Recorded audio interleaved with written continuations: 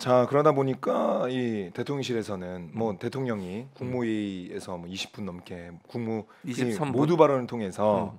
뭐이 현안에 대해서 얘기를 하고 음, 설득하는 모습을 보였는데 음, 결국에는 이 담장 얘기도 했잖아요. 음. 담장, 음. 담장 우리가 먼저 허물어서 이 같이 가는 걸로 하겠다라고 했는데 예.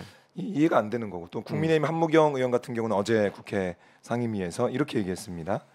한일 합방이 누구의 잘못이냐? 음. 이제는 우리나라도 yes와 no 이분법 사고에서 벗어나야 된다. 우리는 gray zone에 사는 게 훨씬 많다. 그러면서 개인적으로 1910년 한일 음. 합방은 우리나라가 힘이 없어서 그렇게 당했다. 이런 주장을 또 펼쳤습니다. 그러면 그 한무경이라는 사람 그분 그때 뭐 땅 얘기 많이 나오지 않았나요? 뭔가 있었어요. 어. 이 땅이 너무 많으신 분 아니었나? 음, 좀 정확히 지금 기억을 지산 아니 뭐- 엄청 뭐가- 막, 어, 있었던 것 같은데 아, 있었죠. 네네 아들 소유 의혹의 땅이 어, 어. 10, 11만 제곱 맞아. 어 그래서. 엄청 많았던 기억이 나요. 그때 한참 LA 사태, LH 사태 때 네. 논란이 됐던 분 중에 한 분이야. 네. 조용해지니까 이제 나오셨네. 근데 자 보세요. 자 힘이 우리가 힘이 없어서 당했다. 네. 좋아요. 그게 사실일 수 있어요. 저는 뭐 사실일 수 있다고 봅니다. 그럼 이렇게 음. 물어볼게요. 힘이 없는 나라는 무력으로 힘이 있는 나라가 침공해도 됩니까? 한무경 아. 의원님 그래도 되는 거예요? 자 그러면 우리 주변에도 똑같은 논리예요. 우리 옆에 힘 없는 사람이 사는데 옆집에 힘이 있는 사람이 가서 막 뺏어오고 남의 거 그 집 가서 무시하고 막 폭력 행사하고 그어뭐 여성분 성추행하고 예컨대 네. 그런 일이 벌어져도 괜찮은 겁니까? 아니 아무 죄 없는 우리나라 선량한 국민들 끌고 가서 일 시켜 먹었죠. 네. 아, 어, 아가씨들 데리고 가지고 성으로 그렇게 성 폭행을 했죠. 네. 그게 일본이잖아요 역사적으로. 음. 그런 사람의 그런 행동이 정당화되는 거예요? 힘 있으니까 힘 없으니까 우리 네, 잘못이다? 네.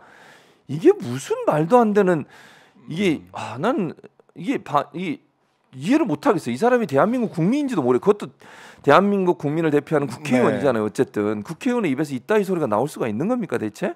아하. 아니 그러니까 힘 없으면 당해도 되냐고요. 그게 무슨 논리예요? 네. 이거 뭐 약육 강식의 시대예요? 무슨 동물의 왕국입니까? 그래요. 자, 동물의 왕국이 아니다. 국제사회는 그 역사는 그렇지 않다. 아, 역사는 뭐 정의에 음. 따라서 판단하고 평가해야 그럼 되는데. 반대로 얘기해서 그러면 그분들은 또 이러잖아. 러시아가 우크라이나 침공한 건 엄청 공격하고 비판하잖아요. 음. 그럼 힘 없어서 그런 거잖아. 그 논리로 따지면 우크라이나가 힘이 없어가지고 러시아의 침공을 받은 거예요. 그건 왜 음. 바- 옹호하세요? 그러면 그건 도와줘야 된다고. 네. 논리적으로 안 맞잖아 지금. 논리적으로 안 맞다. 자, 살다 보면 좋은 날님께서 박 기자님 목감기 빨리 쾌차하세요. 네. 그러나 꺼버렸어요? 응원은 최지문 교수님 감사합니다.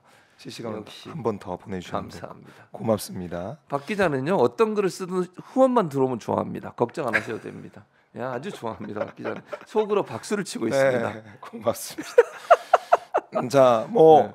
어떻게 보면은 지금 국민의 힘의 모습은 음. 윤석열 대통령의 한일 정상회담 음, 잘했다. 음, 한일 관계 개선에 도움이 된다. 음. 이런 얘기를 계속 주장하고 있으면서 음.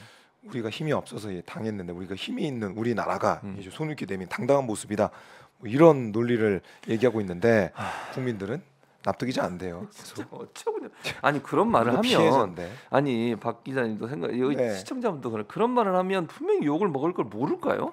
음. 나는 어떻게 당당하게 그런 말을 하는지도 모르겠어요.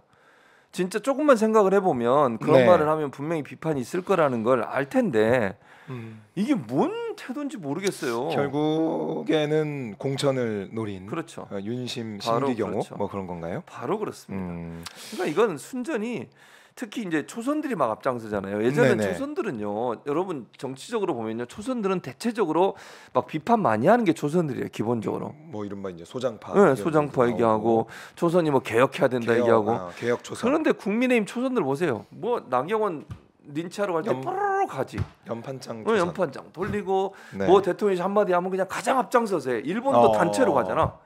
일본 안 단체로 가기- 안 갔다 가기로 했어요. 안 가기로 했어요? 예, 지방선거 이후에 가- 아하. 어쨌든 가기로 네. 했었잖아요 계획을. 음, 얘기가 나왔었죠. 네, 네. 자, 그러니까 이런 식의 태도가 음. 국민의 힘을 위한 건지 네, 잘 고민해 봐라. 잘 고민. 근데 뭐 하시길 바래요 저는 그래요, 하시길 바란다고 하셨는데 않겠습니다.